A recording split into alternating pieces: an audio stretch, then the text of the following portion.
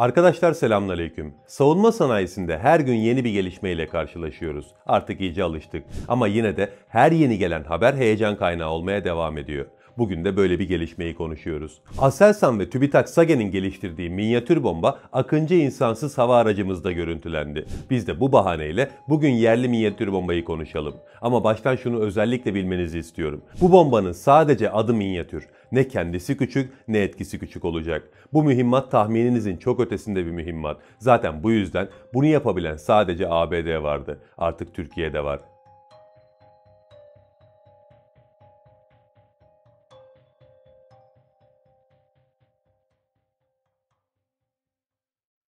Savunma sanayisi demek inanılmaz bir gündem demek oluyor. O kadar fazla farklı alanda ihtiyaç var ki birçok ülke bunların zamanında ve sorunsuz tedariğine bile yetişemiyor. Kolay bir şey değil. Eğer bu konularda dışarıya bağımlıysanız vereceğiniz siparişleri bile çok önceden planlamanız gerekiyor. Çünkü hiçbir şeyi aynı gün alamıyorsunuz.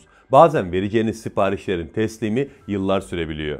Bu yüzden günlük tabirle düzenli ve programlı alışveriş yapmanın bile sıkıntılı olduğu bir alandan bahsediyoruz. Ve Türkiye bu sektörde bütün alanlarda projeler yürütüyor şu anda ve bir iki istisna dışında projeler sorunsuz şekilde ilerliyor. Bugün de bu projelerden birini konuşuyoruz. TÜBİTAK SAGE ile Aselsan'ın sessiz sedasız yürüttüğü ve artık ete kemiğe bürünmüş bir proje. Yani Türkiye'nin milli minyatür bombası. Geçenlerde Pakistanlı kursiyerler insansız hava aracı eğitimi için Türkiye'ye geldiler. Ve bir video yayınladılar. Bu videoda Baykar'ın dev İHA'sı Akıncı'nın üstünde turuncu renkli bir minyatür bomba vardı. Turuncu renk bir test mühimmatı olduğunu gösteriyordu. Minyatür bomba projesini daha önce duymuştuk. Bu bombanın Akıncı'da kullanılacağını da biliyorduk. Yeni olan mühimmatın artık Akıncı'ya entegre edilmiş olması oldu. Bu çok önemli bir gelişme çünkü Türk Hava Kuvvetleri'nin gücüne güç katma potansiyeli var. Aynı zamanda bu proje ekonomik anlamda da Türkiye'ye ciddi bir ihracat kapısı açabilir. Çünkü özellikle batılı hava kuvvetleri yeni ürettiğimiz minyatür bomba tarzı mühimmatlara giderek daha fazla ilgi göstermeye başladılar. Çünkü bu mühimmatların çok ciddi avantajları var. Bu küçük çaplı bombalar tek bir hava aracında daha fazla sayıda taşınabiliyor. Yani bunlarla yaptığınız bir operasyonu daha az sayıda hava aracıyla yürütebiliyorsunuz. Ayrıca bu bombalar yüksek hassasiyetle vuruş yapabiliyor. Biliyorsunuz savaş uçağıyla yerdeki bir hedefi vurduğunuzda genelde çevresel hasar büyük olur. Çünkü çok ciddi boyutlarda bombalar atabiliyorlar. Elbette bunun gerekli olduğu yerler de var. Ama bazen yaptığınız atışta çevreyi dikkate almak zorundasınız. İşte küçük çaplı bombalar böyle durumlarda çok işe yarıyor. Çevresel hasarı neredeyse sıfıra indiriyorlar. Haliyle savaş pilotu bombanın düğmesine çok daha rahat basıyor.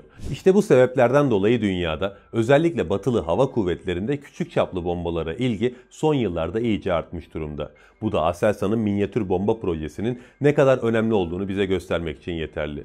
Bu bombaların dünyadaki muadillerini ve konumlarını birazdan konuşuruz. Öncesinde Akıncı'ya yeni entegre edilen minyatür bombayı konuşalım. Yeni bir proje değil bu. Geliştirme çalışmalarına 2012 yılında başlandı. İlk kez İDEF 2017'de sergilendi. 2020 yılında F-16 Blok 40 savaş uçaklarımızla ilk test atışları yapıldı. Ve bu atışlar başarılı oldu. Minyatür bomba 55 kilometre menzile sahip. Minyatür deyince insanın aklına elbette küçük bir bomba geliyor. Ama gerçek pek öyle değil. Bu mühimmat 139 kilo ağırlığa sahip. 180 santimde boyu var. Normal bombalardan farklı olarak delme özelliği olması birçok hedefte öne çıkmasını sağlıyor. Çünkü minyatür bomba 1 metre kalınlığındaki güçlendirilmiş betonu delebiliyor. Delip içine girdikten sonra içeride patlıyor.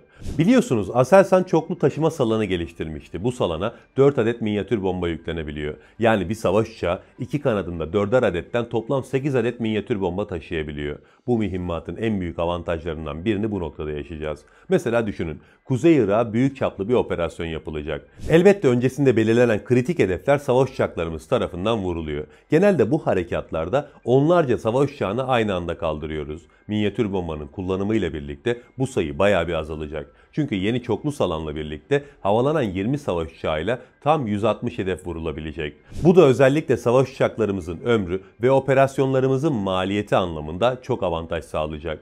Tabi biz böyle desek de bu platformun F-16'larımızda kullanılacağına dair bir bilgi açıklanmadı. Evet ilk test satışları F-16 Blok 40'larla yapıldı. Ama bu tek başına F-16'lara entegre edileceğinin garantisi anlamına gelmiyor. Mesela İngiltere buna benzer bir bomba geliştiriyor. Bu bombanın testlerini Tayfun savaş uçağıyla yapıyor. Ama proje tamamlandığında o mühimmat F-35 savaş uçaklarında kullanılacak. Yani F-16 F-16 ile sertifikasyon testlerinin yapılmış olması F-16'da bu bombanın kullanılacağı anlamına gelmeyebilir. Aselsan'ın açıkladığı potansiyel platformlar Milli Muharip Uçak, Hürjet ve F-35'ti ilk başta. Tabi bu listeden F-35 çıktı ve şimdi Akıncı eklendi. Yani listede değişiklikler olabilir. Mesela bu listeye Aksungur da eklenecektir. Çünkü minyatür bomba insansız hava araçlarımızın etkinliğini de kat kat arttıracak. Akıncı iki kanadında ikişerden toplam 4 minyatür bombayla operasyona çıkacak. Bu da insansız hava araçlarımızı çok yoğun şekilde kullandığımız için bölgede birçok dengeyi değiştirebilir.